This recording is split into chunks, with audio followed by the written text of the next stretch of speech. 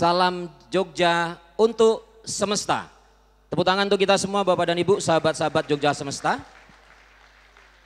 Assalamualaikum warahmatullahi wabarakatuh. Sugeng Dalu, salam sehat bahagia selalu. Tidak terasa kita bersua lagi di acara yang senantiasa ditunggu-tunggu oleh sahabat Jogja Semesta, di mana pada malam hari ini dialog budaya dan gelar seni Jogja Semesta sudah memasuki seri ke-159. Dan ini sangat spesial karena tema kita pada malam hari ini sangat relevan dalam konteks tantangan dan harapan kita ke depan khususnya bagi daerah istimewa Yogyakarta yaitu bagaimana kita semua bisa membangun karakter sumber daya manusia yang unggul dan istimewa dari daerah istimewa Yogyakarta. Untuk itu sebagai penyemangat kita marilah sekali lagi kita berikan tepuk tangan yang meriah untuk gelar budaya dan seni Jogja Semesta seri ke-159. Yang kami hormati para pimpinan OPD di lingkup Pemda Daerah Istimewa Yogyakarta yang senantiasa menjadi sahabat dan mensupport program Jogja Semesta. Yang juga kami hormati para tamu undangan dari berbagai unsur yang senantiasa pada setiap bulannya hadir, bahkan tidak hanya hadir tapi juga memberikan kontribusi urun rembuk bagaimana kita bisa bersama-sama memberikan kontribusi, saran, masukan bagi kebaikan daerah yang kita cintai yaitu daerah istimewa Yogyakarta. Dan juga spesial kepada para pengasuh Jogja Semesta yang sudah hadir, hadir Bapak Robi Kusumarta, Bapak Syah Benola Sibuan dan ada Pak Tasbir Abdullah dan juga bagi sahabat-sahabat yang lain yang mohon maaf punten dalam sewu belum bisa kita sebutkan satu persatu. Terima kasih partisipasi Bapak dan Ibu sudah hadir untuk bersama-sama kita membincang, berdiskusi bagaimana kita bersama bisa membangun karakter sumber daya manusia daerah istimewa Yogyakarta yang unggul dan istimewa. Nah spesial untuk membahas tema kita pada malam hari ini, sudah hadir tiga narasumber spesialis dalam bidangnya masing-masing sudah teruji dengan berbagai sepak terjang kontribusi beliau tidak hanya di lingkup daerah istimewa Yogyakarta tapi juga di lingkup nasional. Yang pertama kita sapa Profesor Dr. Putu Sudira MP. Beliau adalah salah satu pengurus Komite Vokasi dan Produktivitas Daerah Istimewa Yogyakarta. Sugeng dalu Prof, sehat Prof Putu? Mic-nya mangke sakit. Yang kedua, Hadir bersama kita Profesor Insinyur Bakti Setiawan MA PhD. Nah ini kok kita asring Prof Bobi. Mantar sembilan Prof. Beliau adalah Ketua Dewan Kebudayaan Daerah Istimewa Yogyakarta. Terima kasih Prof sudah bergabung. Terima kasih. Nanti kita tunggu urun-urun rebuknya. Ibu Bapak yang luar biasa. Sudah hadir dua profesor. Ini hadir juga satu prof, tapi profesional. Nah ini yaitu Mas Petrus Teja Hapsara. Beliau adalah Direktur PT YPTI, salah satu perusahaan kebanggaan yang ada di daerah istimewa Jakarta. Selamat malam Mas Petrus. Niki habis balik dari Jerman, Paris atau mana nih Mas? Dari Jajar Sleman. Baik, kita berikan plus untuk tiga narasumber kita Bapak dan Ibu. Tetapi kita skip dulu, kita tunggu dulu beberapa hal yang penting karena Bapak dan Ibu sudah mungkin juga menerima kopian dari materi beliau. Nah untuk mengetahui lebih jauh kenapa tema ini menjadi penting dan diangkat, untuk itu mari kita dengarkan bersama sambutan dari salah satu pengasuh Jogja Semesta. Untuk itu kepada Pak Sabeno Lasibuan dipersilakan. Semoga Pak Beni. Assalamualaikum warahmatullahi wabarakatuh. Salam sejahtera untuk kita sekalian dan sugeng dalu yang kami hormati maha guru maha guru kita. Pak Profesor ada dua di sini. Pak Putu dan Pak Bobi. Pak Petrus yang juga profesional begitu tadi. Pak Robi sebagai pengasuh juga Pak Tasbir. Di sini ada juga Kepala Dinas Pemberdayaan Perempuan Bu Erli. Dari Kadin juga ada. Dan Bapak Ibu sekalian yang tidak bisa kami sebutkan satu persatu. Tentu tiada kata yang pantas kita haturkan pada malam yang indah ini. Syukur kehadirat Allah Subhanahu wa taala Tuhan yang Maha Esa yang telah menghadirkan kita di tempat ini sebagai langkah niat baik dalam kegiatan Jogja Semesta Dialog Budaya sebagai wujud kepedulian kita terhadap keistimewaan Yogyakarta. Tidak jemu-jemunya kami menyampaikan bahwa kegiatan ini adalah inisiatif murni dari almarhum Bapak Haridandi yang pantas dan layak untuk kita abadikan sebagai salah satu wujud menampung menerima aspirasi masyarakat setelah mendengar pendapat-pendapat para ahlinya. Sehingga resultante antara aspirasi masyarakat dengan ahlinya dalam dialog budaya mendapatkan sebuah titik temu yang bisa menjadi kebijakan pemerintah daerah. Itulah salah satu kenapa ini kita perlu wujudkan. Jadi dengan dialog budaya ini sudah banyak membuktikan bahwa tidak perlu demo untuk menyampaikan sebuah gagasan yang ingin disampaikan, cukup hadir dalam dialog budaya ini, maka aspirasi itu akan sampai kepada pengambil keputusannya. Jadi Bapak Ibu sekalian, walaupun kita punya tiga narasumber di sini, tapi intinya semua kita yang ada di sini adalah narasumber. Jadi Bapak Ibu jangan ewo pekewo menyampaikan pendapatnya karena bagaimanapun walaupun misalnya saya kepala dinas begitu, tapi pasti dalam hal menyapu lantai yang paling pinter adalah cleaning service. Nah, jadi itulah kira-kira ekstrimnya kita di dalam dialog budaya malam ini. Saya kira itu. Terima kasih Bapak Prof, profesor maupun profesional begitu telah bersedia hadir. Mungkin ada yang sudah dua kali, ada yang empat kali tak jemu-jemunya Beliau hadir dengan penuh semangat dan penuh uh, kreativitas pendapat. Sekian saya kira terima kasih sekali lagi kepada semua penyelenggara, pendukung acara ini. Mudah-mudahan dukungan Bapak Ibu tidak akan berhenti pada malam ini. Selanjutnya selalu kami harapkan. Terima kasih. Wabillahi taufiq walhidayah. Wassalamualaikum warahmatullahi wabarakatuh. Waalaikumsalam warahmatullahi wabarakatuh. Matur sembah nuwun Pak Beni. Kita berikan aplaus Bapak dan Ibu apresiasi. Demikian sambutan mewakili pengurus Jogja Semesta. Besar harapan bahwa memang ada tiga narasumber tetapi nanti kita akan manfaatkan Bapak Ibu Mangke juga kita harapkan usulannya, ide-ide luar biasanya untuk bisa mewarnai dan mempertajam apa yang nanti akan kita bahas pada malam hari ini. Namun sebelum nanti kita menyapa dan diskusi santai dengan tiga narasumber, sebagai representasi semangat pada tema kali ini, mari kita saksikan bersama Tari Sigra, persembahan dari Sanggar Tari Girka Yogyakarta.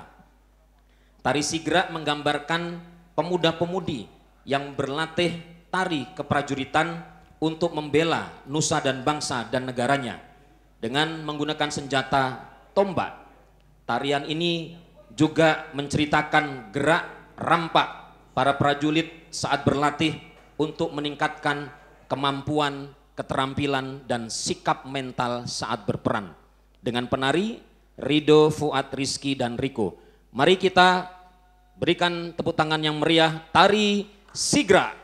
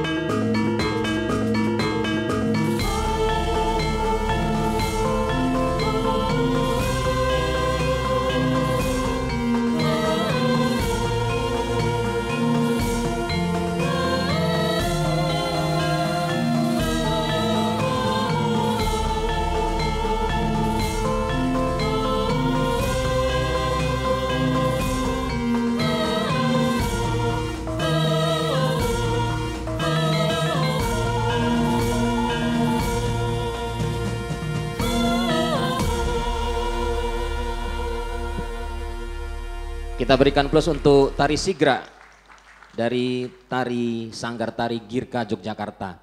Sigra berarti rampak, bergegas, semangat. Nah ini menjadi representasi harapan kita ketika kita membincang tema malam hari ini. Yang pertama pada Prof. Bobby. Nah, ini kan yang kita bahas sebenarnya yang akan meneruskan tampuk kepemimpinan Prof apalagi dalam konteks Indonesia emas 20 tahun ke depan anak-anak sekarang. Ada satu tantangan Prof yang nanti harapannya bagaimana sih sebenarnya banyak yang bilang generasi sekarang itu generasi stroberi. Dia kreatif tapi rapuh. Nah, ada banyak bilang begitu. Ada juga skill anak sekarang bagus, ya pengetahuannya bagus, tapi begitu berhubungan dengan karakter, sikap mental, baik di dunia formal, entrepreneur dan sebagainya, ini menjadi tanda tanda. Nah, semoga Prof Bobi poin-poin penting dalam konteks value kebudayaan yang bisa memperkuat karakter SDM di DIY. Semoga Prof Bobi. Baik Mas Romi, dan Bapak-Bapak, Sugeng Dalu dan Assalamualaikum warahmatullahi wabarakatuh. Tadi gocekannya Prof, Prof, and profesional. Padahal yang di tengah itu kalau di kampus profesor, kalau di sini ya provokator. Dan saya kira tuh saya cuma ngegongi, ini kalau bagian di depan itu ya terpaksa jadi provokator ya. Uh, saya tidak cukup yakin uh, apa yang ingin saya paparkan benar-benar provoking ibu bapak-bapak, tapi ya mudah-mudahan membuka diskusi lah.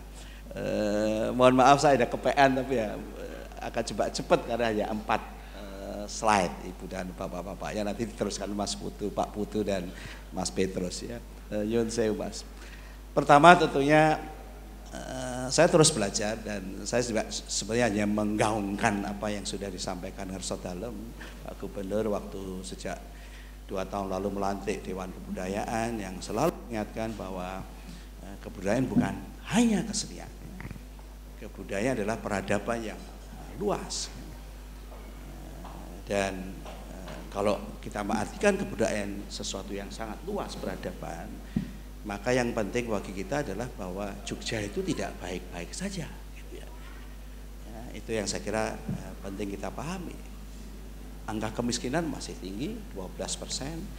Uh, ketimpangan wilayah, ketimpangan pendapatan, degradasi lingkungan dan sebagainya. Jadi saya sampaikan di depan Pak Gubernur Bu Erlina ingat waktu paparan LPG PD kemarin ya eh, di samping banyak keistimewaannya kita harus akui dalam perspektif kebudayaan keberadaban yang lebih luas Jogja tidak baik-baik saja.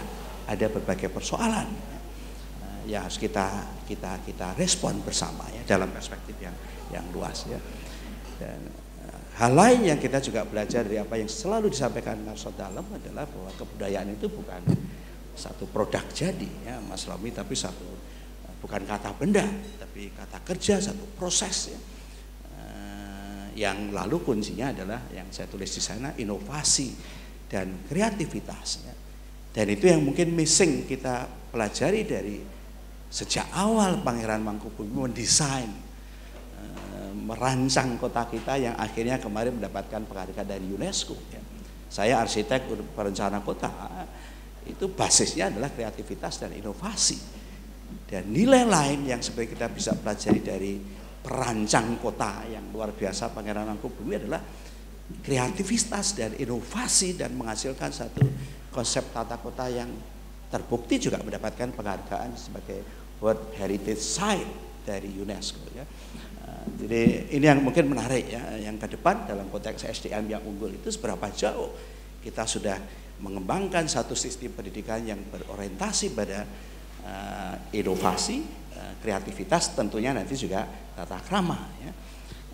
Tapi yang penting adalah meskipun Jogja tidak baik-baik saja, tentunya kan kita juga punya cita-cita dan cukup meyakini dengan nilai-nilai keistimewaan dan kebudayaannya, Jogja bisa menjadi model ya, peradaban yang yang luar biasa. Ya. Uh, paling tidak kalau saya ya tadi uh, dari perspektif urban design gitu ya, saya cukup bangga sekarang mengatakan bahwa saya kan juga bergaul dengan banyak perencana sedunia bahkan menjadi eh, mendapat mandat jadi presiden selalu digojeki Pak Ben itu Pak Bobi presiden asosiasi sekolah perencanaan se Asia gitu ya. Dan memang di situlah saya selalu sampaikan bahwa Jogja istimewa. Kami punya satu sistem tata kota yang luar biasa ya. Yang bahkan sejak 1755 sudah eksis dan sampai sekarang bisa kita uri-uri dan bisa menjadi model tata kota yang luar biasa. Jadi Jogja saya kira ketika kita bicara Indonesia emas bisa memberikan contoh ya uh, pada seluruh Indonesia bahkan uh, dunia ya. Uh, prasyaratnya tentunya adalah pendidikan yang ya sepertinya kalau UGM kan punya slogan gaya Mas Petrus ya locally rooted and globally respected saya kira itu terminologi UGM itu juga pas apa yang kita usahakan di Jogja ya. bagaimana Jogja itu dibangun dengan satu sistem kebudayaan tata krama yang locally rooted karena kita punya sejarah panjang tapi globally recognized respected ya dan ini menarik karena kita juga baru menyusun RPJP 20 tahun ke depan. Ya. Yang menarik nanti apakah kita berani karena yang RPJP yang lalu itu baru berani mengatakan eksplisit Jogja menjadi pusat wisata pendidikan ternama se-Asia Tenggara. Ya. Apakah dalam 20 tahun ke depan ketika Indonesia emas kita juga berani membuat satu statement bahwa Jogja akan menjadi globally respected saya yakin bisa ya dalam uh, beberapa aspek uh, peradaban dan kebudayaan. Bagian kedua Mas atau Mbak ya. Berikutnya adalah kebudayaan, keistimewaan dan pendidikan ya yang yang ya apa yang saya sampaikan ya ketiganya satu hal yang yang satu paket blended gitu ya. Uh, termasuk pendidikan. Saya jelek-jelek ini ya pernah jadi ketua komite sekolah sama tapi juga melihat banyak persoalan pendidikan di di daerah istimewa yang bahkan juga menjadi pusat pendidikan sa, sa Indonesia ini gitu ya eh, dan dan menarik setelah saya cek ternyata kita itu punya teman-teman yang di uh, dinas uh, sangat uh, paham bahwa kita punya perda nilai budaya Mas Romi 2011 bahkan ya. Dan konsep tata nilai yang luar biasa saya nggak tahu mungkin menarik nanti kita diskusikan seberapa jauh tata nilai budaya itu mewarnai dan menjadi dasar dari pendidikan warga Jogja terutama anak-anak muda ya yang tadi generasi strawberry itu. Uh, kan menarik ya uh, Mas Romi itu ya. Uh, tadi generasi strawberry diserikan dengan generasi yang sangat labil gitu ya. Sementara kita punya tata nilai budaya yang luar biasa ya. Golong kilik, sawiji, geget, sengguh, orang minggu itu kan luar biasa. Totally kontras gitu ya, antara normatif yang kita punyai dan sudah menjadi perda ya, dengan kalau memang benar generasi strawberry Buskawasan juga enggak, enggak terlalu percaya. Saya tetap yakin bahwa generasi muda punya something potensial. Mungkin ada kelemahan-kelemahannya tapi juga mereka punya potensi besar yang mungkin kita belum pahami. Tapi sekali lagi eh, Yogyakarta bisa menjadi model eh, kebudayaan dan peradaban Indonesia dunia kalau pendidikannya luar biasa dan ini juga eh, teman-teman yang di pendidikan mungkin sudah mendiskusikan Dewan Pendidikan kita juga mempunyai bahwa tidak tidak baik-baik saja gitu ya. Banyak hal yang harus kita siapkan untuk menyongsong Jogja dan Indonesia di masa depan yang luar biasa berikutnya ya. Dan ini sangat menarik di dalam konteks saya kira transformasi ya, ya, RPJP ya, rencana pembangunan jangka panjangnya nasional kan sudah draftnya sudah hampir jadi ya. Dan dia eh, kalau tidak salah memban misi menarik Mas Romi itu Indonesia yang maju, berdaulat dan berkelanjutan. Dan itu dilalui mulai tiga transformasi, transformasi ekonomi, sosial dan sebagainya dan bahkan nanti katanya itu uh, apa bocorannya nanti RPJP-nya provinsi seluruh Indonesia kabupaten kota nggak boleh beda ya. harus sama dengan tiga kata kunci yaitu maju berdaulat dan berkelanjutan. Tapi saya ingin RPJPD-nya Jogja 20 tahun ke depan punya nilai-nilai khusus. Kalau nggak boleh ditaruh di dalam visinya nanti dicari-cariin wordingnya. Tapi saya kira kebudayaan tetap harus menjadi basis dari pembangunan di uh, Yogyakarta ya. Mungkin kita bisa elaborasikan bahwa uh, elaborasi dari atau pemaknaan dari apa yang dimaksudkan Bapenas mengenai maju berdaulat dan berkelanjutan itu bisa kita transfer uh, dalam prinsip-prinsip keistimewaan ya, Jogja ya. Terakhir saya kira di dalam konteks itu Eh, saya menawarkan nanti mungkin menjadi bahan diskusi teman-teman. Dan ini sesuatu yang kami di Dewan Kebudayaan sudah mendiskusikan cukup lama mengenai pentingnya pendidikan berbasis budaya ya, dengan banyak ide yang nanti kita bisa diskusikan termasuk misalnya memastikan bahwa Jogja menjadi satu tempat pendidikan yang inklusif termasuk pendidikan yang informal, pendidikan warga dan sebagainya menjadi sekolah bersama dan sebagainya dan e, mengembangkan satu kurikulum yang cukup fleksibel tidak terlalu terjerat terdikte oleh kurikulum nasional dan mengembangkan materi-materi lokal yang tadi berbasis pada pendidikan e, budaya.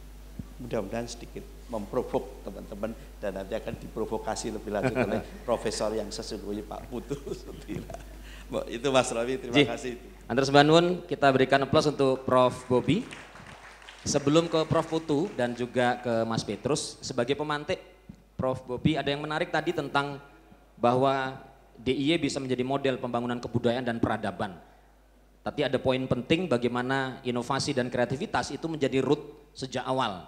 Lalu catatannya bagaimana mengkolaborasikan elaborasi pendidikan, kepribadian, sikap Toto laku, norma Jawa yang kita coba kombin dengan modern. Nah, yang menarik kita kan dokumen-dokumen kebudayaan, value itu dahsyat Prof.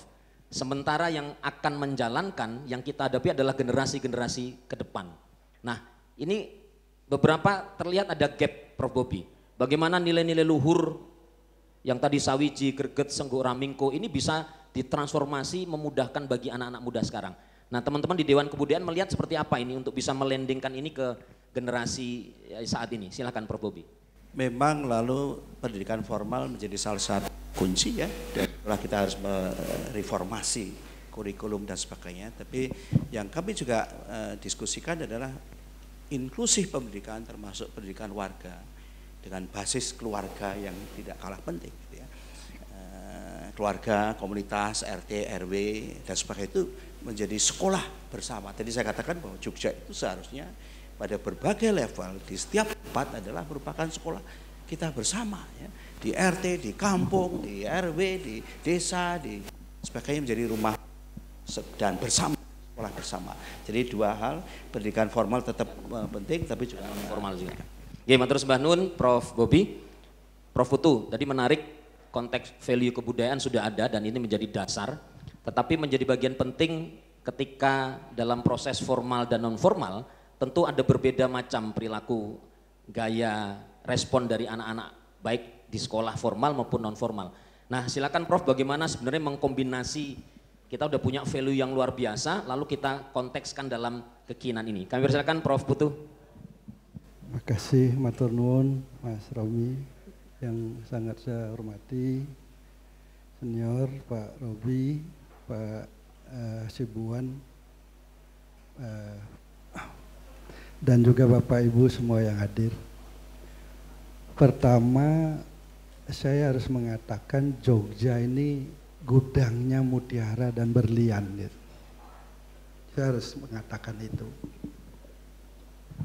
Jadi saya harus mengatakan bahwa Jogja ini memang istimewa. Gudangnya uh, mutiara dan berlian. barangkali belum digosok dan belum dijadikan cincinnya gitu ya. Barangkali seperti itu. Tapi sudah berproses. Pertama ada potensi yang luar biasa yang uh, potensi tata nilai budaya Jogja yang luar biasa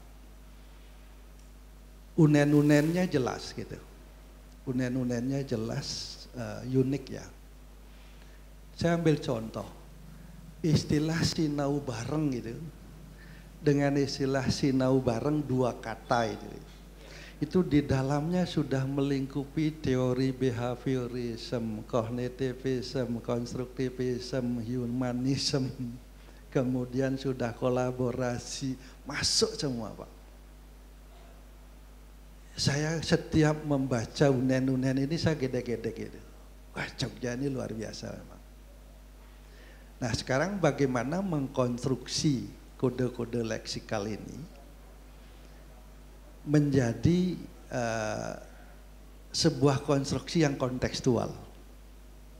Itu sebagai challenge. Dan kemudian berikutnya diadaptasikan ke anak-anak muda ya sebagai transgenerasi atau genti-gentennya ini. Itu itu yang yang saya lihat memang sekarang diperlukan sekali. Sehingga transformasinya berjalan formal di sekolah, informal di uh, keluarga ya, non formal juga di lembaga-lembaga di masyarakat gitu. Tiga pilar ini di, di, perlu sangat digerakkan itu. Nah, kontekstualisasinya ini saya kira uh, tidak sulit, semuanya sudah konkret sebenarnya ya. Tinggal bagaimana mengkonstruksi dan kemudian memasukkan Eh, nilai-nilai uh, ini ke dalam semua dimensi pendidikannya gitu. Ya. Mungkin di anu aja itu uh, tadi saya menyatakan ada ekspresi unen-unen kemudian dengan berbagai kode leksikal ya. Uh, implementasinya itu harus ada sebagai proses untuk konservasi kemudian transformasi owah gingsirnya itu adalah proses kontekstualisasi kemudian transgenerasinya. Nah ini, kalau tadi ada generasi uh, apa, strawberry gitu ya, berarti ada sesuatu di situ yang masih harus diinjekkan gitu ya. Apa bentuknya gitu. Nah ini ini dicari tidak sulit sebenarnya, uh, mudah untuk untuk ditemukan itu. Coba diklik lagi nanti akan uh, adaptasinya ke anak muda. Nah, Unen-unen ini dalam kerangka pengembangan sumber daya sebenarnya totalitas Pak. Baik anak muda maupun siapa pun yang sedang aktif melakukan uh, aktivitas gitu. Harus berpegang pada uh, kode-kode leksikal itu dan uh, secara kolektif kemudian uh, melakukan konservasi gitu ya. Lanjut Bapak. Eh, malam ini saya mengambil yang kuning itu saja. Saya mencoba mengambil yang kuning tentang Hame Mayu Hayuning Bawono dan uh, Sangkan Paraning uh, Dumadi dan Manunggaling Kaulo Gusti itu ya. Itu yang yang ingin saya uh, apa pantik malam ini untuk didiskusikan. Lanjut. Nah, Begini ya Pak Ibu, dalam konsep Bawono yang saya pahami ada Bawono Agung, diklik ya, dan uh, makrokosmos dan Bawono Alit ya, mikrokosmos itu. Kedua Bawono ini sebenarnya memiliki struktur yang sama Pak Ibu. Ya, jadi antara semesta alam dan juga uh, pada makhluk hidup ada lima unsur yang sama. Di situ ada akas ya, akas itu ruang kosong. Kemudian ada teja, panas, api. Kemudian ada bayu, ya angin. Kemudian ada apa, air, ada pertiwi gitu. Bapak Ibu, saya mencoba memahami kalau Tuhan itu maha besar gitu ya tidak lain sebenarnya ya elemen itu gitu. Kalau Tuhan memang maha pemberi kehidupan, Tuhan itu ya oksigen itu. Tuhan ya air itu, Tuhan itu ya tanah itu gitu ya. Tuhan itu adalah ruang kosong itu, Tuhan itu adalah panas itu gitu. Yang melingkupi seluruh semesta gitu. Mari silahkan saja coba uh, jangan bernafas dua menit gitu. Kita pasti mati. Dan tidak pernah kok oksigen itu memilih lubang hidung gitu ya. Dan tidak pernah oksigen itu menghakimi orang atau menyalahkan gitu. Kalau kita tidak bisa bernafas karena hidung kita yang masalah. Bukan karena oksigennya gitu. Kita terlalu sering menuduh Tuhan ini itu. Menurut pandangan saya, saya tidak setuju itu. Ya, sesungguhnya kita sendiri yang bermasalah. Gitu. Nah, di dalam diri makhluk hidup juga ada unsur yang sama. Nah, apa yang disebut hayu? Hayu itu adalah keharmonisan itu. Kelima unsur itu baik yang ada di dalam tubuh manusia dan juga yang ada di semesta gitu. Pada saat tidak keseimbangan yang terjadi, maka tanah akan membangun gempa gitu. Air akan membangun banjir gitu ya. Kemudian angin akan membangun uh, badai gitu. Di dalam tubuh kita juga sama gitu. Pada saat itu tidak harmonis, maka sakit itu dia orang. Ya.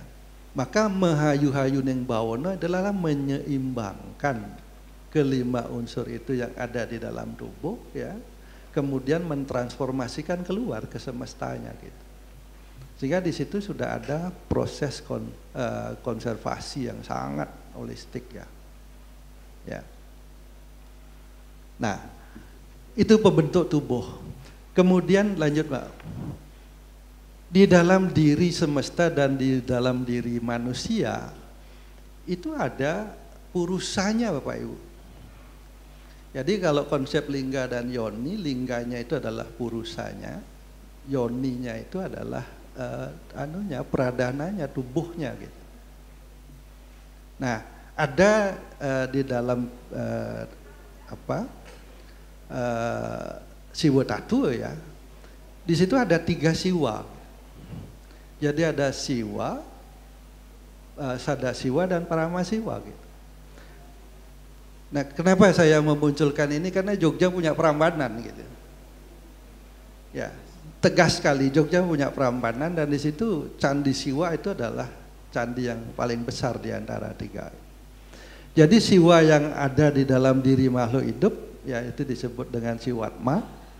Kemudian siwa yang menggerakkan semesta alam itu adalah sada siwa. Kemudian yang tidak tersentuh itu yang di alam yang paling atas disebut para masiwa. Ya. Dan itulah uh, di situ antara sangkan paraning dumadi kita dari sana gitu. Jadi sangkan paraning dumadi kita dari sana, dari semesta, kemudian yang lima unsur itu, kemudian ada kekuatan Tuhan Tripurusa itu siwa sada siwa eh, parama siwa itu, kemudian membangun kehidupan gitu ya. Nah, hame mayu hayu neng bawono itu itu menurut pandangan saya. Jadi bagaimana menghayukan bawono alit kita dan juga bawono agung semesta ini. Nah pada saat itu terjadi keharmonisan kehidupan ini ayu gitu, cantik gitu ya, harmonis indah gitu. Ya. Nah kesadaran kita terhadap itulah yang saya sebut sebagai uh, kesadaran sangkan paraning dumadi. Oh tahu dari sini. Kemudian ada upaya untuk manunggaling ke sana. Manunggaling, jadi me, mendekatkan, kemudian mengharmoniskan ya, mengkoneksikan dirinya gitu. Nah, ini yang coba uh, saya pantik malam ini untuk didiskusikan, yang coba saya terjemahkan uh, apa kontekstualisasi ya dari unen-unen itu yang hamu mayu hayuneng bawono sangkan pareneng dumadi dan manunggaling kaula gusti itu gitu. Nah nanti monggo kita eh, bisa lebih diskusikan. Ini adalah sebuah ekspresi. Coba lanjut Bapak. Ya jadi di situ ada para masiwanya ya. Nah Kemudian kalau kita menuju kepada salah satu dari panca mulia yang uh, menjadi visinya baik gubernur dan juga pemerintah daerah DIY ya untuk meningkatkan kualitas hidup, penghidupan dan kehidupan ya. Maka uh, tiga hal ini saya kira perlu diperhatikan ya. Di situ ada uh, filosofi telur ya, kuningnya sebagai uh, apa? uh, Manik Moyo ya, kemudian uh, putihnya sebagai uh, Ismoyo dan kemudian cangkangnya sebagai Tejo Moyo gitu. Ya. Jadi di situ uh, bibitnya itu Manik Moyonya Siwa Betara Guru, di situ kaitannya dengan Manunggaling Kaula Gusti, kemudian tahu ya sangkan paraneng dumadi golong gilik ya karakter kemudian Ismoyo pamomong yang urip itu apa uh, apa konsep-konsep hidup dengan uh, apa unen-unen pamentanging gandewo kemudian uh, pamentanging cipto ya kemudian Sawiji, Greget, Sengguh, Mingkuh gitu. Kemudian di situ ada profesionalisme, kreativitas, ya, inovasi. Kemudian Tejo Moyonya uh, itu adalah hal-hal yang merawat uh, yang fisik ya, karir ya, kemudian kesehatan, habit bekerja, kebugaran, semangat itu ya, kemudian uh, jaringan kolaborasi kerja gitu. Ini yang uh, coba uh, saya pantik untuk diskusi malam ini kaitannya dengan salah tiga ya dari unen-unen tentang apa nilai-nilai budaya Yogyakarta. Uh, demikian saya ulangi lagi Jogja ini gudangnya berlian ya. Yang sangat-sangat uh, luar biasa pada uh, saat untuk nanti bisa dipoles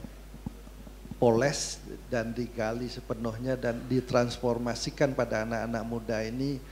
Saya kok sangat yakin Jogja itu akan menjadi uh, ya istimewanya uh, yang sungguh-sungguh gitu. Yang uh, tidak hanya mendunia bahkan. Matur nuwun Mas Matur nuwun. Kita ya. berikan plus untuk Prof. Putu Sudira. Prof satu yang apa membuat penasaran dalam mengkontekstualkan itu kan berarti menyeimbangkan mengikutin alanya anak-anak sekarang Prof.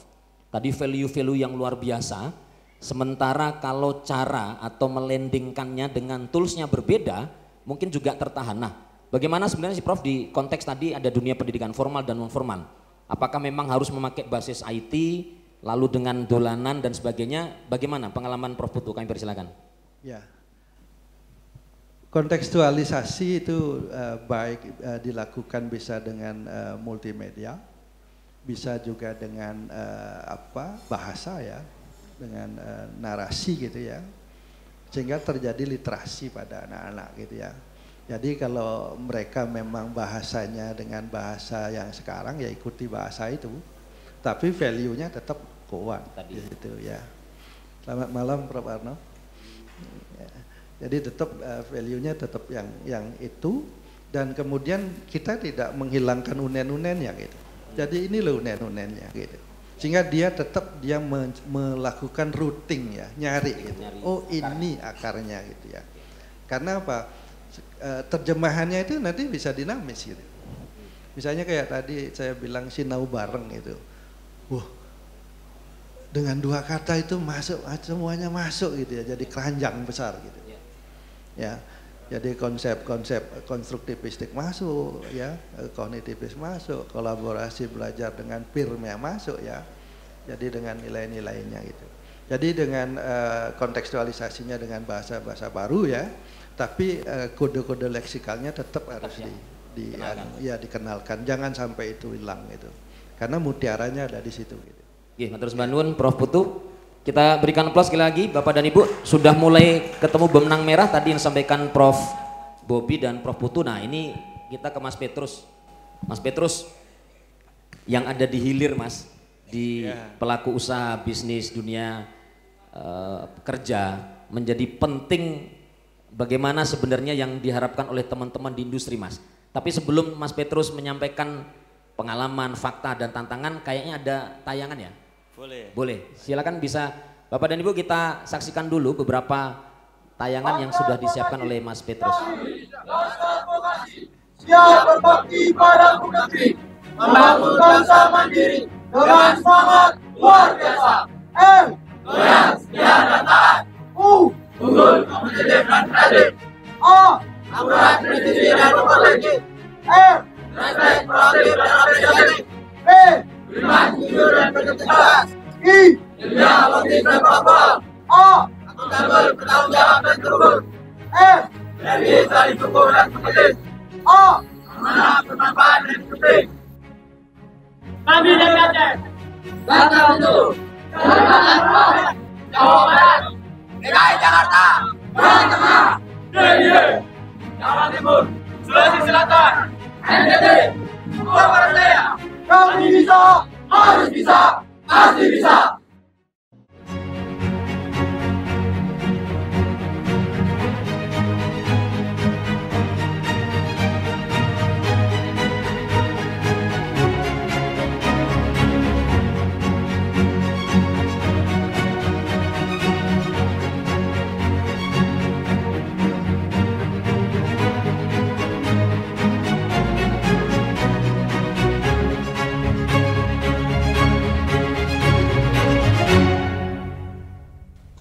Kita berikan plus luar biasa. Berarti Akronim. selesai, sudah selesai berarti saya pulang saya. Mas Petrus, semonggo ini kan menjadi apa menghadapi betul kondisi anak-anak muda sekarang ya. Tadi ada value-value yang dasar tetapi dalam tantangan di dunia real, dunia kerja, dunia industri kan mungkin berbeda. Nah, ini seperti apa pengalaman Mas Petrus membangun YPTI dan eh, teman-teman eh, di YPTI? Monggo. Terima kasih, selamat malam. Assalamualaikum warahmatullahi wabarakatuh. Mohon izin saya, sharing karena diminta malam ini kan saya bukan eh, profesor ya, provokator juga sama. Jadi malam ini saya mencoba berbagi eh, bagaimana sih membangun eh, sumber daya manusia begitu ya. Tentunya kalau generasi kita itu masih sekolah, membangunnya lewat pendidikan itu lewat sekolah tentunya, kemudian masyarakat dan keluarga. Namun saat mereka sudah lulus sekolah, tentunya mereka akan berkarya, baik di kementerian lembaga atau di dunia usaha begitu ya.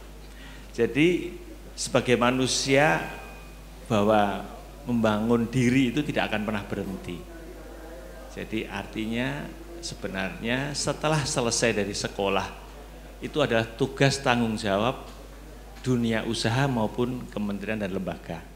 Untuk itu eh, kami yakin bahwa kalau SDM itu unggul atau kompetitif tentunya di mana dia berada akan memberikan kontribusi yang positif. Jadi karena saya di dunia industri begitu ya ada filosofi yang cukup mengena bagi kami adalah sebelum membuat produk buatlah manusianya dulu begitu ya. Artinya membangun manusianya dulu supaya kompeten. Untuk bisa membangun kom, e, manusianya tentunya kita punya budaya perusahaan dulu. Makanya di sini saya mencoba bagaimana membangun SDM melalui budaya perusahaan. Karena kalau membangun itu di masyarakat itu hanya ada norma dan sanksinya tidak bisa langsung kena. Kalau di perusahaan mau tidak mau karena dia di situ adalah tempat dia membangun masa depannya, masa depan dari pekerjaan dia dapat penghasilan dari jam 8 sampai jam 5 sore, dia harus taat pada aturan, disiplin, loyal dan segala macamnya. Begitu dia keluar dari tempat pekerjaan, dia akan terbawa apa yang sudah dilakukan di perusahaan tersebut. Jadi coba next mas ini. Terus next. Ini salah satunya adalah kami mencoba membuat budaya luar biasa. Yang tiap pagi itu kita ucapkan sebelum kita masuk kerja dan setiap karyawan kalau tadi eh, siswa kebetulan kami juga membina siswa vokasi dari Aceh sampai Sorong. Saya minta berbagi terkait dengan kompetensi di teknologi harapannya adalah teknologi itu bisa mempersatukan Indonesia begitu ya karena sama-sama belajar di situ. Jadi setiap pagi kita men mengucapkan semangat luar biasa dan setiap sis uh, setiap siswa maupun karyawan kami ditanya dari luar biasa itu apa yang Anda lakukan dari L-nya? Apa implementasi dalam pekerjaan Anda ataupun dalam keluarga misalnya loyal, setia dan taat sama istri kamu setia dan taat tidak akan begitu. Setiap hari diucapkan itu menjadi doa dan kalau tidak dilakukan menjadi malu sendiri. Artinya ada sesuatu yang kontradiksi sehingga mau tidak mau karena setiap hari diucapkan itu akan dilakukan. Itu yang kami lakukan selama ini. Jadi harapannya adalah bagaimana perusahaan itu menjadi tempat membangun karakter dari SDM-nya. Jadi bagi kami SDM itu adalah modal atau human capital, bukan uh, bukan apa ya istilahnya ya buruh atau apa. Jadi kalau sudah human capital tidak ada demo lagi begitu ya, karena kalau modal itu ya akan dipelihara dan dikembangkan menjadi lebih produktif. Jadi salah satu yang kami kembangkan adalah budaya korporasi ini diharapkan bisa terinternalisasi di setiap karyawan kami dan harapannya adalah di rumah dia bisa menerapkan ini kepada keluarganya, di masyarakat juga akan bisa. Saya hanya melihat di negara-negara yang memiliki industri manufaktur yang kuat, itu rakyatnya tertib. Karena dari pagi sampai sore dia kerja, keluar itu ya masih terbawa disiplinnya begitu ya. Jadi harapannya di Jogja ini kan banyak institusi eh, apa namanya dunia usaha, ada perhotelan. Bisa tidak setiap dunia usaha itu menerapkan budaya yang mungkin unik tapi diharapkan itu bisa terinternalisasi sehingga harapannya Jogja istimewa itu bisa melalui kegiatan-kegiatan di dunia usaha. Next Mas.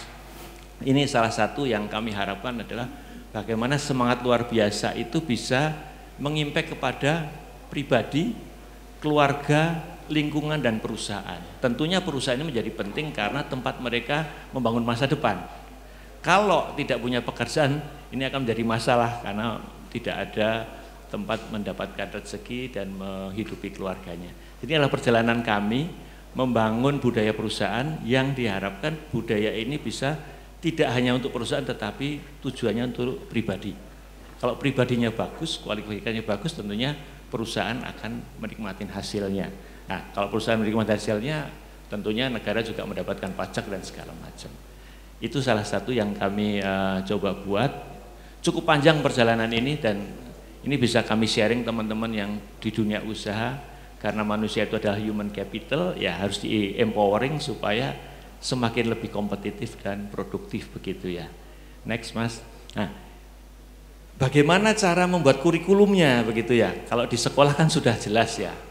Sekolah eh, SD, SMP itu kurikulumnya ada, tetapi di perusahaan harus kita sepakati kompetensi apa dalam pembangunan karakter yang harus kita miliki di setiap karyawan. Di, kebetulan kami memiliki 20 kompetensi soft skill yang harus dimiliki oleh setiap karyawan tergantung jabatannya. Itu ada nilainya dari 0 sampai 5. Dari operator sampai manajer itu harus mempunyai 20 kompetensi dengan bervariasi e, bobotnya. Jadi saya membayangkan kalau setiap karyawan itu bisa lolos dan memiliki kompetensi ini, tentunya secara pribadi pun akan luar biasa. Di keluarga pun dia akan menjadi uh, kepala keluarga atau anggota keluarga yang uh, berkontribusi apalagi di masyarakat. Demikian ini uh, yang bisa saya sharingkan. Kalau mau cerita sampai panjang besok ya tidak apa-apa lah. Ini sebagai pemantik dulu lah. Siap. Ya. Pak Terima Romi, kasih. Bapak Romi, Pak Romi. J. Sebelum diputus oleh Pak Petrus, uh, di sini pembinaan atau penanaman karakter SDM yang berbasis budaya keistimewaan Jogja itu kira-kira di mana masuknya tadi itu? Ah, dari ini coba keistimewaan Jogja kita lihat dari luar biasa tadi itu kan semangat eh, luar biasa itu kan ada semangat uh, loyal, setia dan taat, unggul, kompetitif dan kreatif. Ini adalah uh, yang saya lihat dari uh, SDM yang harus kita bangun adalah SDM yang punya sesuatu berbeda ya dari luar biasa tadi. Kalau ini menjadi uh, apa ya, menjadi satu karakter bagi insan di Jogja tentunya ini kan menjadi luar biasa dan istimewa. Jadi uh, ini akan menjadi ciri khas karakter SDM Jogja atau Jogja mempunyai karakter seperti PT. luar biasa. Hah? Begitu.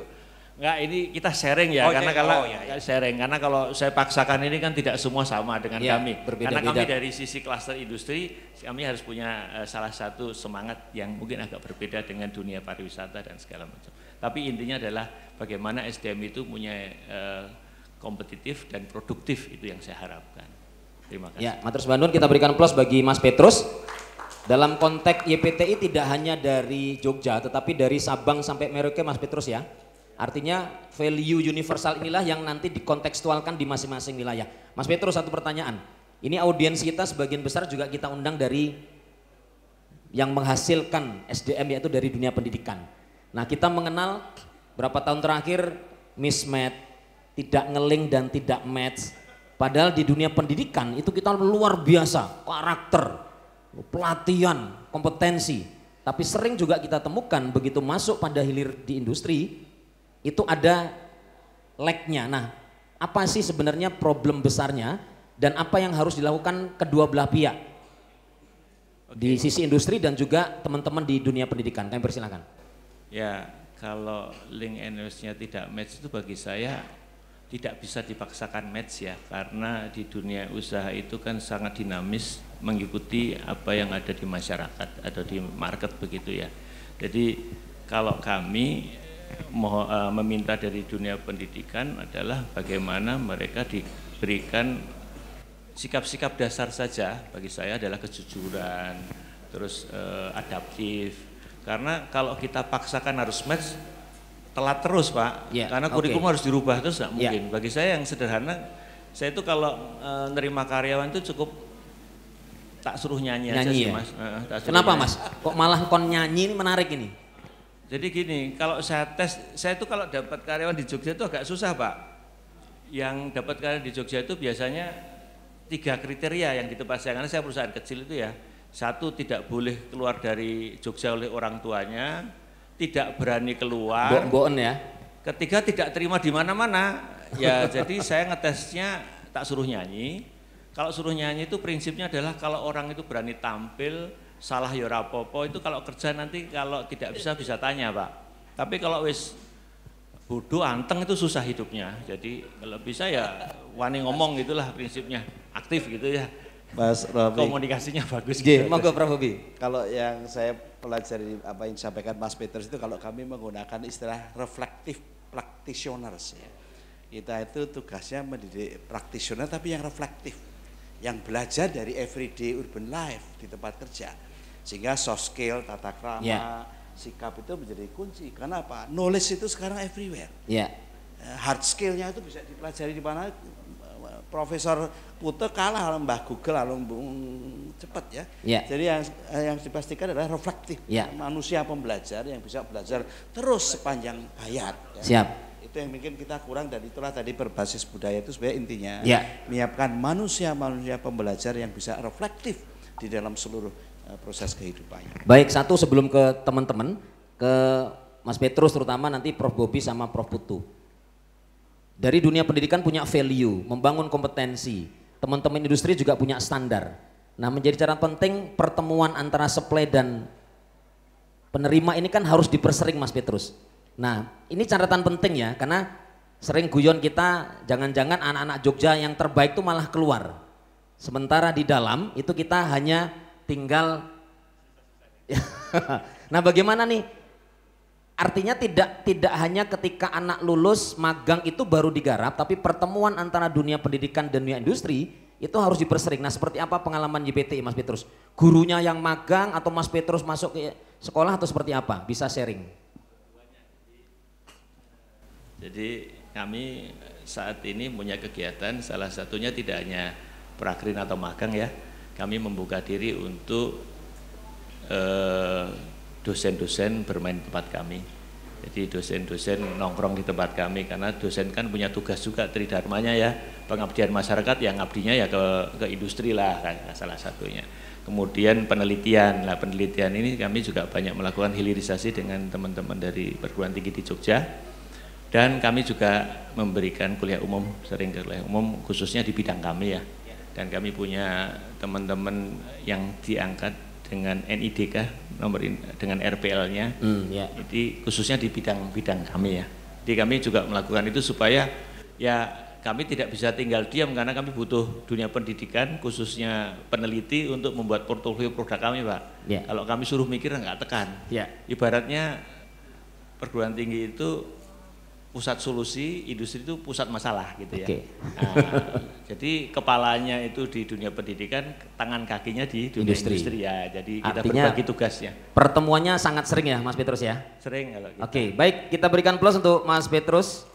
Bapak Ibu yang mungkin sudah berkesempatan silaturahim ke YPTI, yang belum nanti sumonggo, ada satu pengalaman menarik bagi saya sendiri, Prof Bobi, Prof Putu. Jadi begitu masuk ke YPTI, ini masih ingat Mas Petrus, begitu kita ngelihat di lorong sebelah kiri itu yang membuat saya secara pribadi takjub. Karena di wallnya YPT itu kami melihat ratusan foto dan ketika kami melihat secara dekat, itu foto si A, si B, si C, dan kita tanya, fotonya sopo mas? Itu foto orang-orang tercinta dari karyawan kami. Bisa suami, bisa istri, bisa anak. Terus saya tanya, maksudnya piye mas? Nah tolong dijelaskan mas Petrus. ini menarik ini. Jadi gini, eh, kami ini saat mulai usaha itu kan sulit mencari SDM. Jadi yang ada ya orang-orang sekitar situ. Memotivasi mereka suruh disiplin itu susah. Jadi salah satunya adalah saya pendekatan lewat keluarga. Tolong pasang foto anak-anak Anda. Ini adalah masa depan anak-anak Anda di tengah Anda. Kalau Anda nggak disiplin, anak Anda itu susah. Dan Anda membuat anak Anda susah itu dosa, saya bilang. Jadi saya kembalikan lagi ke keluarga. Kalau pengalaman saya, kalau anak eh, karyawan saya itu tanggung jawab sama keluarga, pekerjaannya beres. Tapi kalau nggak beres itu keluarganya juga nggak beres gitu ya. Jadi artinya ya keluarga itu menjadi salah satu penyemangat.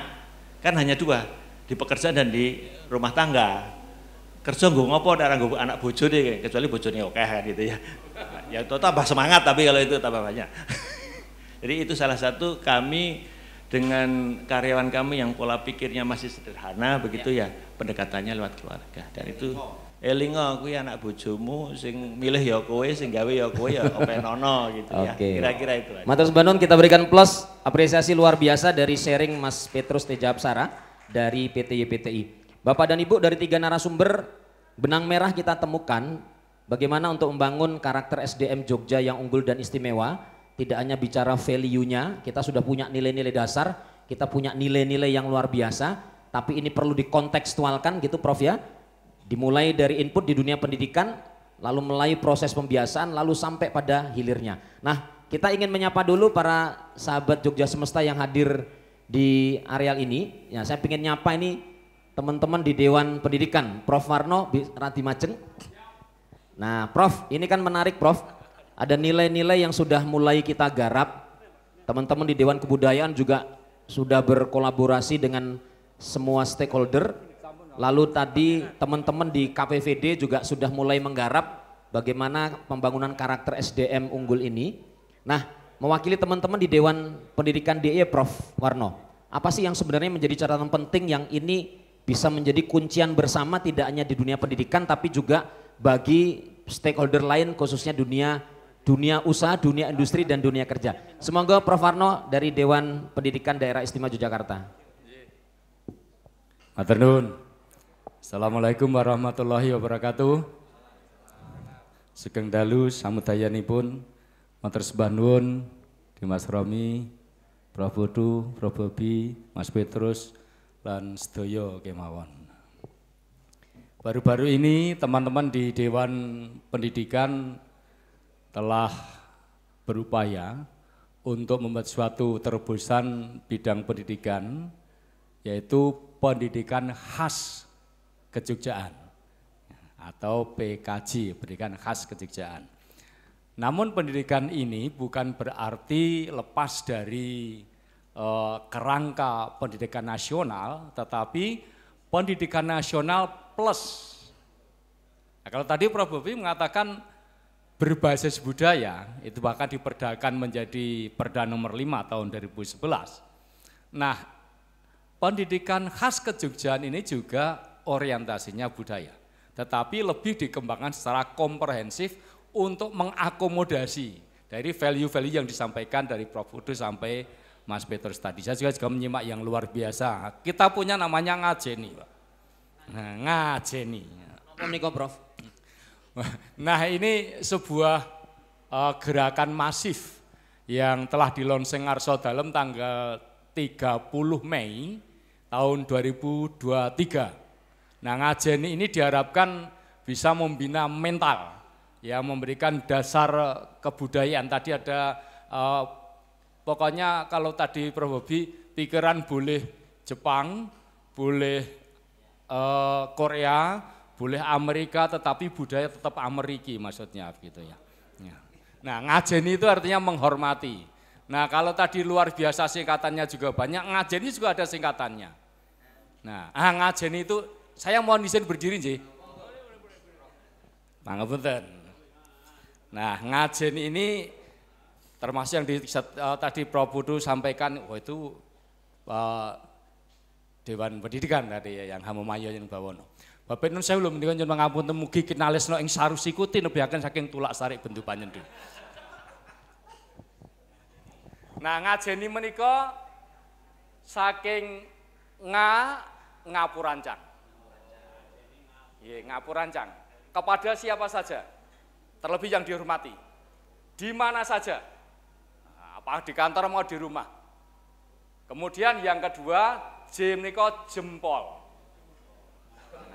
Nah, oh ngajeni dulu ya ngajeni. Nah, Ngajeni. ngajeni itu untuk menghormati. Nun sewu, semenjak hari Sabtu 15 Februari tahun 1755 budaya Yogyakarta berbeda dengan Solo. Maka ngajeni gaya Yogyakarta adalah yang kanan di depan. Di depan pusar. Ya. Kalau busananya Jogja. Kalau busananya Solo yang kanan di dalam. Nah, busana Jogja, busana Solo tanpa busana. Yang dua jempol. Bapak. Ibu mau coba Jogja Esti, Mewah. jempolnya lurus. Kalau begini monggo namanya. Hmm. Eh, Jogja istimewa. Anda memang hebat. Istimewa. Tes terima. Oh, mboten menika ngajeni ya.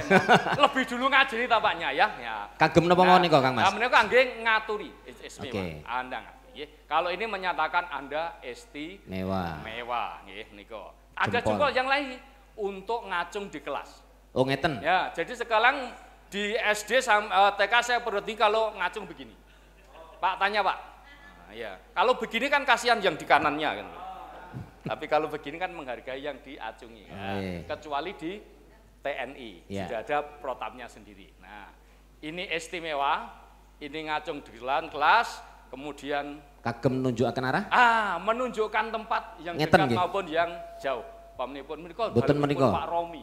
Wah, Menika lho kagunganipun ballpoint. Nah, Hmm. nah, ada lagi ah, monggo juga untuk mengatur. Ngatu. Oke, jempol. Hebat. Monggo. Terus tunjukkan jauh dekat. Jaluk jog.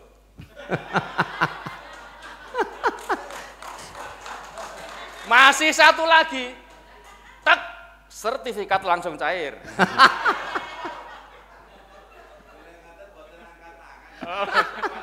Jempol. Jempol. Lajeng Jempol, jempol ya. Nah, lajeng ini ngajeni nuwun sewu. Nuwun sewu Nuwun enipun. sewu nderek langkung. Nuwun sewu derek langkung. Yan esok sugeng enjing, yan awan sugeng siang. Ngaten menika lho. Yan liwat nderek langkung ngaten menika. Nah, menika lare sak menika perlu dipun perdi ngaten ya. Lajeng nyuwun pangapunten matur nuwun. Kalau salah nyuwun pangapunten. Kalau diberi matur, Matur nuwun. Ya budaya tomat lah, tolong eh, maaf, terima kasih. Ini yang kadangkala ucapan seperti itu sebetulnya mudah diucapkan tadi berat untuk dilakukan. Nah, yang terakhir eh, monggo injih. Jih. Nah, monggo itu untuk ngaturi silahkan. Injih itu nun sewu untuk Jogja. Menawi Solo inggih. Orang Jogja Injih. Nah, ning ampun Injih. monjo lenjah mboten wonten. Injih. Nah, pramila nun sewu. Dalam keadaan apa pun itu mendukung juga instruksi gubernur nomor 1 tahun 2009 bahwa setiap minggu walaupun satu hari menggunakan bahasa Jawa kalau tidak didukung oleh bahasanya dukunglah dengan sikapnya. Perilakunya. Makanya pernah saya membuat TikTok 5 menit menjadi kawulo ngayogyakarta. Ngajeni. Ngajeni, ya kalau tidak bisa berbahasa Jawa, pakailah bahasa. Indonesia tetapi sikapnya apurancang. Pak, saya akan melaporkan kegiatan kemarin, ini laporannya.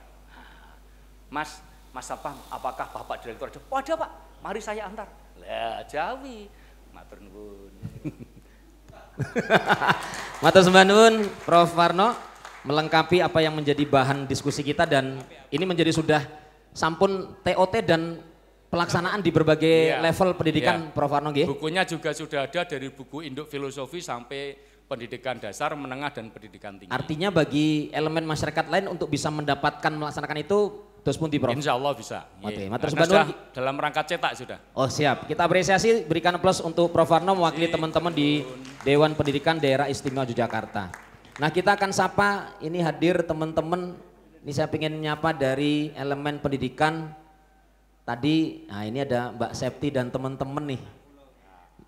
Bisa mewakili teman-teman di Stikpora, Mbak Septi dan teman-teman. Tadi menarik yang disampaikan Mas Petrus, bahwa di dunia industri sendiri sudah mulai menggarap tentang kompetensi yang dibutuhkan. Nah sementara kan kita contoh di SMK tiga tahun kita belajar ada kompetensi teknis dan juga soft skill. Nah bagaimana teman-teman di, di dunia pendidikan merespon perubahan cepat di dunia eh, industri ini, Bu Septi dan teman-teman. Kami persilakan Monggor Majeng untuk bisa sharing program-program. Semoga siapa pun mewakili teman-teman di Dispora khususnya teman-teman SMK Semoga. Monggo. Silakan. Atau juga program-program yang sudah mulai digarap yang berhubungan dengan penguatan basis value budaya, memperkuat karakter SDM yang ada di SMK atau dunia pendidikan di DIY. Semoga. Kita dengar ada sekolah berbasis budaya juga di teman-teman pendidikan. Bismillahirrahmanirrahim. Assalamualaikum warahmatullahi wabarakatuh. Perkenankan saya dari Dinas Dikpora bersama bapak-bapak di sini, Bapak Kepala Bal Balai Dikmen eh, Kabupaten Kota. Eh, di sini saya matur bahwasanya eh, memang Bapak i- untuk pembentukan karakter di SMK itu menjadi prioritas utama bagi kita karena hampir semua industri yang bekerja sama dengan kita keluhannya sama. Bahwasanya anak-anak sekarang itu yang pertama adalah daya juangnya sangat kurang sekali. Yang kedua adalah attitude-nya masih kurang jauh sekali dari standar industri. Dan eh, yang ketiga mungkin juga seperti diatur ke Pak eh, Romi seperti eh, generasi strawberry yang mana cantik bagus kemasan di luar tetapi begitu saja disentuh ada teguran sedikit langsung penyok langsung runtuh. Nah itu memang leres Bapak Ibu sedanten. Bahwasanya anak-anak sekarang ini eh, dari beberapa industri yang eh, mengeluhkan ke saya terutama bahwasanya pada praktek kerja lapangan itu banyak dari industri yang mengeluhkan mereka mendapat anak-anak ini mendapat mentor dari eh, industri ditegur sedikit saja anak-anak sekarang itu baperannya minta ampun. Jadi dipikir di rapuh sekali. Sepertinya memang generasi yang sangat instan. Tetapi kemungkinan saya amati ini Bapak saya juga diskusi juga dengan eh, Dinas Tenaga Kerja bahwasanya kebanyakan memang anak-anak sekarang ini kayaknya memang eh, apa ya ini ini adalah tugas tidak hanya pada di level SMA saja atau SMK, pendidikan tidak. Ini memang sebenarnya harus dimulai dari tidak mungkin kita membentuk karakter itu instan. Hanya di pendidikan menengah, tetapi harus dimulai dari pendidikan dini dari dini kemudian juga menengah harus sudah dimulai. Dan kemungkinan juga ini kalau saya sadari saya menyadari sendiri juga dan juga mungkin saya diskusi dengan teman-teman yang lain itu juga tidak lepas dari kita sendiri orang tuanya. Pendidikan orang tua yang sekarang itu berbeda dengan pendidikan bapak ibu kita zaman dulu. Yang kemungkinan itu me- apa ya memberikan banyak fasilitas kemudahan sehingga anak-anak sekarang mentalnya menjadi lemah sekali untuk daya juangnya juga sangat eh, rendah sekali.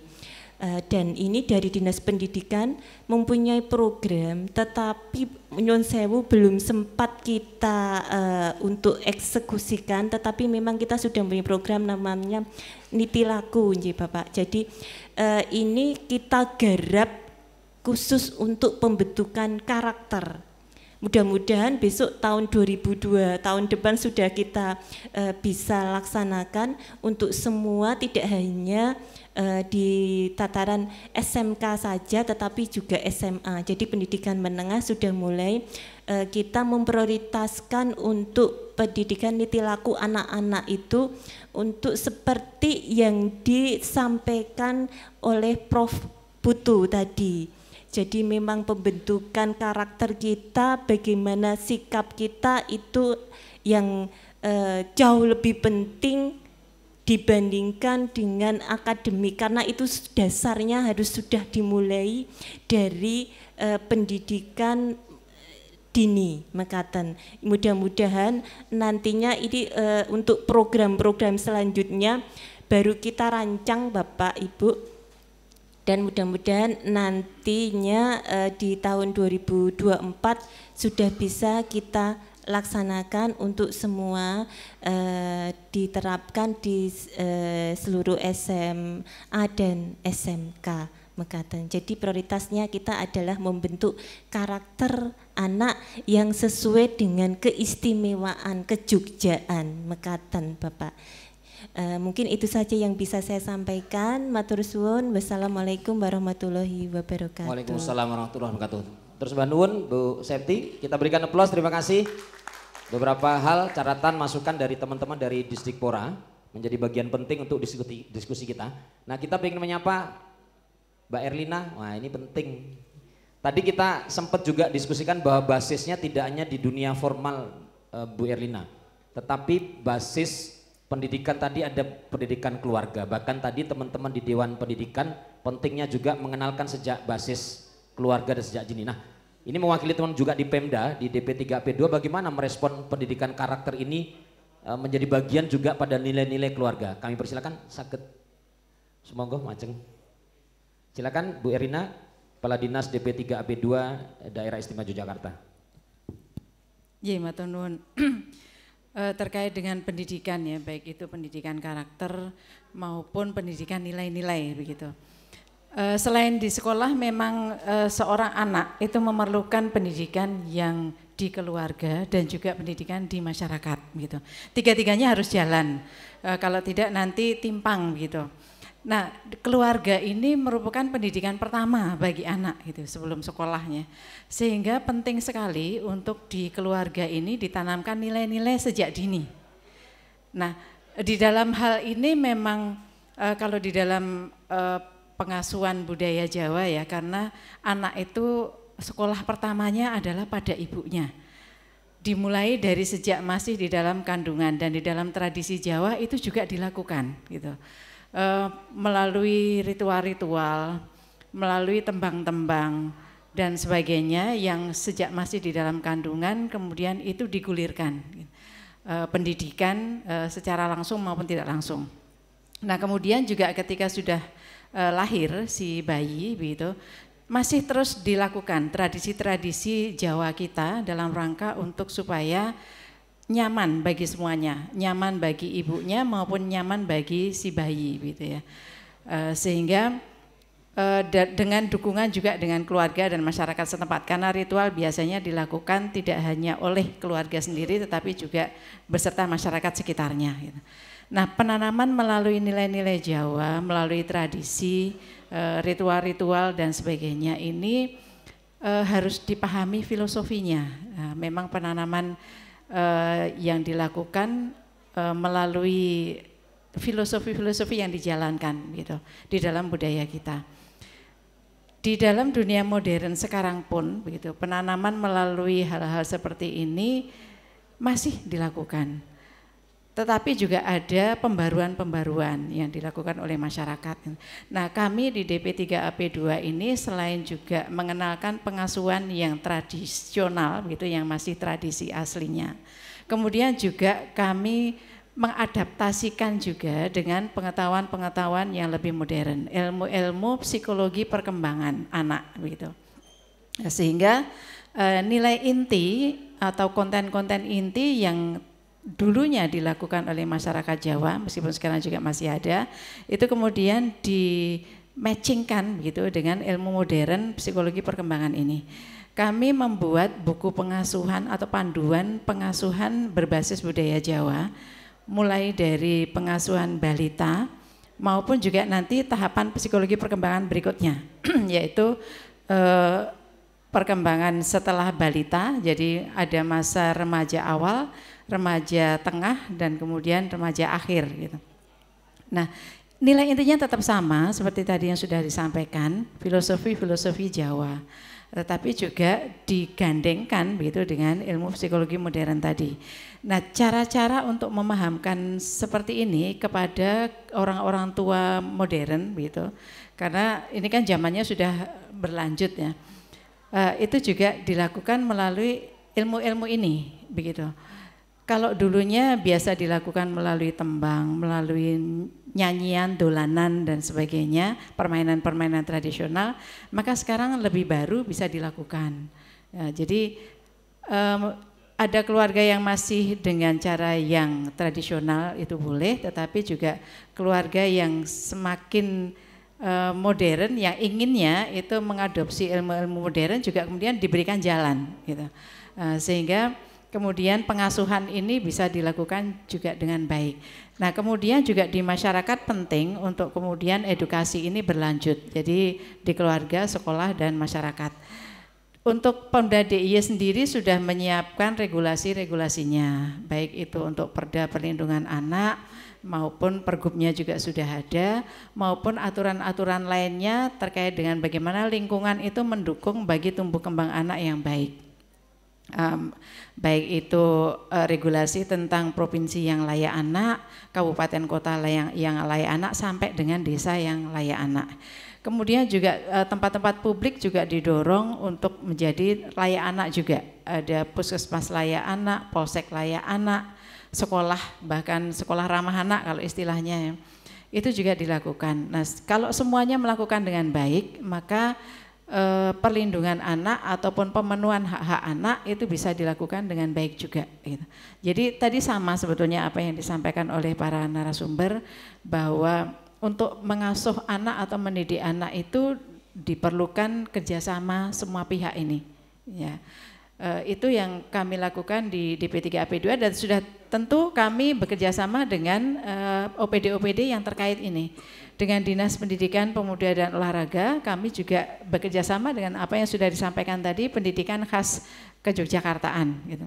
Nah kami masuk melalui sekolah ramah anak ini gitu, dengan e, dimatchingkan dengan pendidikan khas ke Yogyakartaan. Kemudian juga e, pendidikan khas ke Yogyakartaan ini juga sedang kami bicarakan juga untuk dilakukan diimplementasikan di tingkat keluarga dan juga di tingkat masyarakat tadi e, melalui kalurahan yang layak anak atau desa yang layak anak. Nah, jadi memang harus kerjasama e, tidak hanya satu dua OPD begitu, tetapi banyak.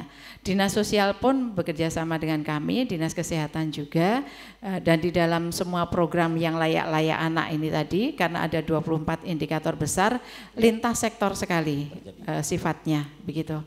Jadi eh, monggo kita bersama-sama lah gitu, Siap. bergerak bersama gitu. Kalau istilah kami, ayo kita kepung bersama gitu ya. Sarangan. Ya, eh, sehingga semuanya bisa berjalan dengan optimal. Iya, demikian Matur Nuwun. Matur Banun, Bu Erina, kita berikan apresiasi tepuk tangan mewakili teman-teman di Pemda DIY melalui DP3P2.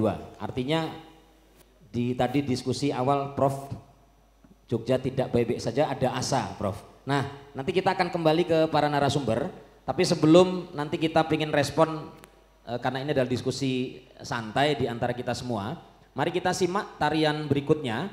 Ini menjadi bagian bahwa karakter tidak hanya bisa dibangun melalui kemampuan teknis tapi juga melalui seni budaya. Mari kita saksikan tari ambate adalah tari yang menggambarkan tentang kearifan lokal budaya yaitu latihan para remaja yang berlatih dalam membatik. Persembahan dari Sanggar Tari Girka Yogyakarta. Mari kita saksikan bersama tari ambatik. Kita berikan tangan yang meriah. Terus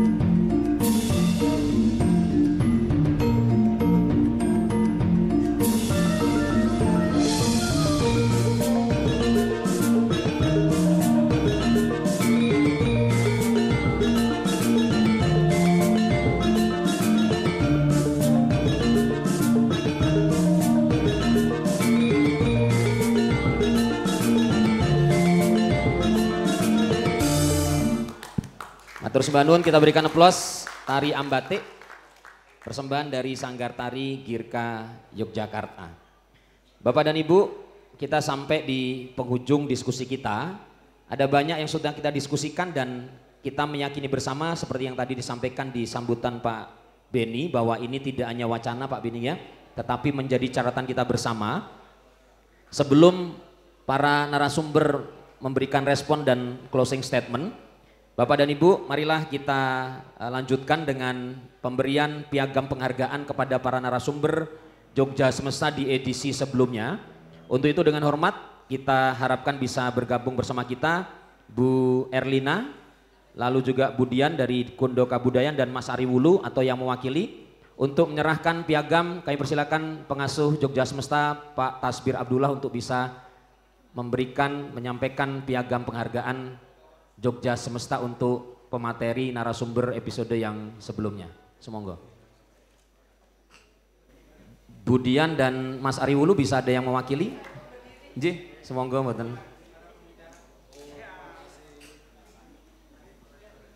Bu Erlina,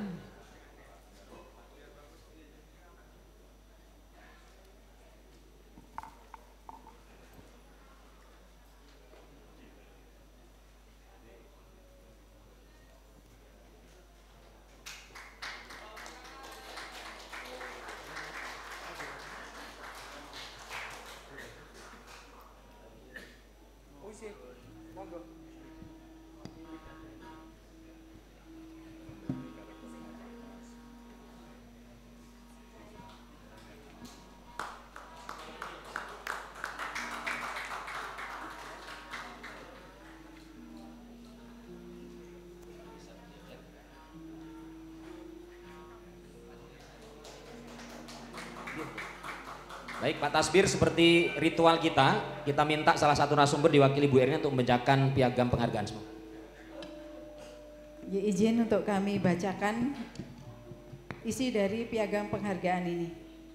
Piagam penghargaan Yogya Semesta diberikan kepada ini yang atas nama saya Erlina Hidayati Sumardi SIP MM atas partisipasinya sebagai narasumber dialog budaya dan gelar seni Yogya Semesta seri 157. Topik Merdeka Melaju untuk Indonesia Maju di Komplek Kepatian Selasa Kliwon 22 Agustus 2023.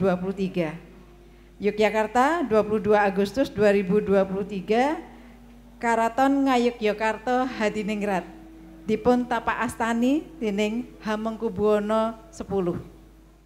Matur nuwun.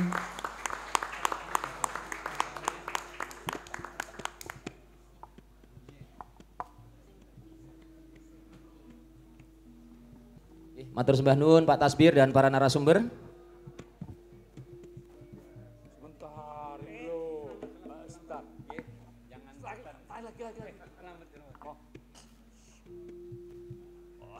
Pak Tasbir bisa melegah mereka Pak Tasbir. Nah, tidak jauh-jauh dari Jogja Semesta. Sekali lagi Bapak dan Ibu kita berikan aplaus atas kontribusi para narasumber di seri 157. Nah kalau tadi kita dari Mas Bobi lalu Prof Putu, Mas Petrus. Kita closing statement. Mas Petrus, ini kan meskipun hanya dialog tetapi ada catatan penting yang bisa kita bawa untuk masing-masing yang hadir di sini dan menjadi bagian gerak real tadi. Apa menjadi penekanan yang pasca ini memang harus bersama-sama kita lakukan di masing-masing stakeholder. Kami persilakan Mas Petrus. Jadi eh, kalau saya menyoroti dari dunia kerja begitu ya, setelah eh, orang itu lulus sekolah kan salah satu pengembangan karakternya atau pembangunan SDM-nya itu ada di dunia kerja. Mari bersama-sama teman-teman khususnya yang ada di Kadin, Apindo itu bisa membangun budaya perusahaan yang bisa nanti diimplementasikan bagi karyawannya baik di perusahaan maupun di rumah tangga ataupun di masyarakat. Karena di perusahaan atau di tempat kerja itu kita bisa mengatur karena mereka kita gaji begitu ya. Dan aturannya jelas, kalau tidak komplain tidak akan di situ. Jadi artinya saya mengajak teman-teman di dunia usaha, dunia industri, kita bangun bersama-sama budaya perusahaan yang mencerminkan budaya Jogja sehingga bisa diterapkan. Karena salah satu pengembangan SDM terakhir itu ada di dunia kerja. Terima kasih dari saya. Matur Bandun Mas Petrus. Prof Bobi, monggo. Terima kasih Mas Romi. Saya itu kalau dihitung ngajar sejak 85 berarti sudah mengajar 37 8 tahun, 38 tahun ya. 64 tahun sekarang. Dan saya mulai sadar salah satu kesalahan besar dari kita-kita terutama yang menjelang senior seperti saya itu adalah mengajarkan pada anak-anak muda apa yang pernah kita lalui, lakukan. Tapi tidak menyiapkan apa yang akan mereka hadapi di masa depan. Ya mungkin sudah basi. Semua yang kita lakukan 30 tahun atau 64 tahun masa hidup saya, itu mungkin tidak selalu relevan semuanya pada generasi mendatang akan menghadapi masa ke depan yang totally berbeda. Jadi mungkin itu yang uh, kita uh, siapkan, mendidik kita, menyiapkan anak-anak mudik kita untuk bisa menyiapkan tidak sekedar mentransfer apa yang kita ketahui tapi menyiapkan mereka agar siap untuk menghadapi dan belajar. Makanya tadi reflektif uh, education itu saya kira penting menyiapkan anak-anak untuk bisa terus belajar sepanjang hayat dan selalu melakukan refleksi di setiap kehidupannya di kemudian hari. Matur Bandun, Prof Bobi, Prof Putu, semoga. Terima kasih. Uh, pertama saya harus mengatakan bahwa nilai-nilai budaya kejogjaan yang istimewa ini dengan berbagai ekspresinya ini segera harus ditransformasikan gitu ya. Segera harus ditransformasikan dan ditransgenerasi uh, uh, kepada siapa pun dan itu harus dilakukan secara masif Pak. Kelemahan kita saat ini melakukan itu masih parsial gitu. Itu kelemahannya katakan masih di dalam segmen hanya sekolah gitu ya. Bagaimana caranya totalitas di sekolah, di mall, di pasar ya, di uh, bis uh, di bis semua kota, lokasi. di semua sektor secara secara bersama sehingga anak-anak kita itu menemukan ya hmm, proses mudah, ya. habituasinya itu berjalan dan sekali lagi uh, mengambil teorinya Ki Hajar kan memasukkan budaya pada anak dan membawa anak pada lingkungan kebudayaannya gitu. Jadi pad, pada lingkungan ini yang tidak terbangun, maka budaya-budaya yang dimasukkan pada anak itu tidak akan anu, tidak akan tumbuh gitu. Baik. Matur Sembanun, Prof, artinya kita sediakan di banyak tempat, banyak saat, banyak waktu. Betul. Baik, terima kasih kita berikan plus untuk tiga narasumber kita Bapak dan Ibu. Sebagai penghargaan kepada tiga narasumber, izinkan Yun Pak Beni menyerahkan buku Jogja Semesta untuk itu kepada Mas Petrus, Prof. Bobi dan Prof. Putu bisa ke depan untuk menerima buku Jogja Semesta dari pengurus Jogja Semesta. Semoga. Amargi piagamnya nanti di seri ke depan Pak Widi. nah, monggo tipun lurusaken rumiyin.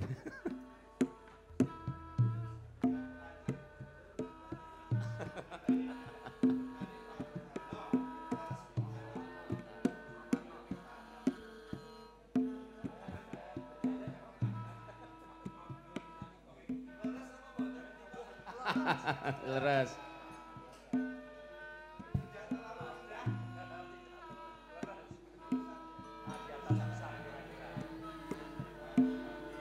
Bapak dan Ibu, eh, Jogja Semesta secara rutin menerbitkan buku dari seluruh episode. Kalau nanti lembaga Bapak dan Ibu berkeinginan untuk mendapatkan buku Jogja Semesta bisa menghubungi sekretariat Jogja Semesta. Matur Sembanun. Diambil gambarnya dulu, monggo Prof.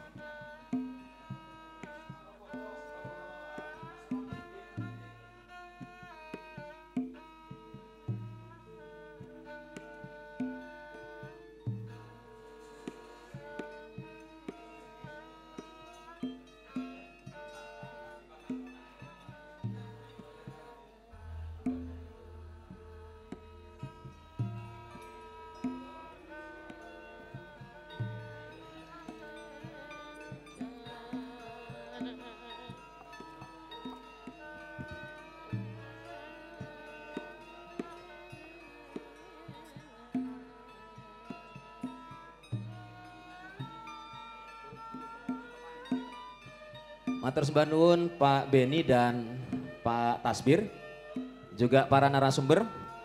Bapak dan Ibu kita sampai di penghujung dialog budaya dan gelar seni Jogja Semesta di seri ke-159. Ada banyak catatan, ada banyak tantangan dan tentunya juga harapan. Nah seperti edisi-edisi yang lalu izinkan mewakili teman-teman di Jogja Semesta saya akan bacakan sebuah guguritan yang seperti biasanya ketika kita lakukan Jogja Semesta edisi-edisi ini, kami mencoba mencatat, merekam beberapa hal yang bisa menjadi perundungan kita bersama. Wong Jowo noto nitilaku Jowone. Geguritan anggitane Romi Herianto. Wong Jawa nata nitilaku Jawane. Dudu ilang Jawane. Lan uga dudu mesti nyonto kabeh plek saka negara liya. Jepang pancen duwe nata nitilaku saka sumbere dhewe. Krana semangat laku samurai Busindo lan saiki kasebut Kaizen dadi cekelan lan ngrembaka marang negara liya. Jawa uga duwe nata niti laku cara Jawa. Sejatine ingkang ora kalah karo negara liya. Nek pengin dadi wong sukses lan mulya, panembahan Senopati ngajari nata niti laku cara Jawa kanthi ngugemi wiraga Wiromo lan Wiroso. Uga duwe semangat tridaya nguwataken cita rapsa lan karsa. Ngajari sawiji greget sengguh ora mingkuh. Jawa uga ngajari nata nitilaku kayata urip iku urup. Uga ngajari menawa arep dadi bakul lan pengusaha engkang sukses iso ngugemi noto nitilaku tuno satak badisana. Jawa uga kebak noto nitilaku pituduh laku pituuh yaiku aruh gupuh ewuh rengkuh sengguh lungguh lan suguh Wong Jawa sampun tinti wancinipun noto nitilaku jawane. Wiwit saka bocah nganti para pinisepuh. Nata nitilaku Jawa kuwi ora kuno. Nata nitilaku Jawa uga isa ngetutake jaman saiki engkang maneka warna. Monggo sami dadi wong Jawa engkang boten ilang jawane. Amargi ngugemi nata nan nitilaku Jawa kuwi iso dadi conto kabeh negara liya. Selasa pitu November kalehewu tiga likur. Matur sembah nuwun. Bapak dan Ibu, demikian di ujung Jogja Semesta. Semoga ini bisa menjadi perundungan kita bersama. Salam Jogja untuk semesta. Tepuk tangan untuk kita semua. Assalamualaikum warahmatullahi wabarakatuh. Sugeng kondur, matur sembah nuwun. Monggo bagi Bapak dan Ibu yang ingin bergambar, berfoto bersama dengan para narasumber, kami persilakan. Biasanya kita foto bersama, kami persilakan para hadirin untuk bisa berfoto bersama dengan para narasumber dan kita semua matur sembah.